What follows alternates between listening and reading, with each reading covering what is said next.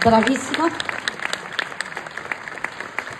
Anche Daniela è eh, vincitrice di categoria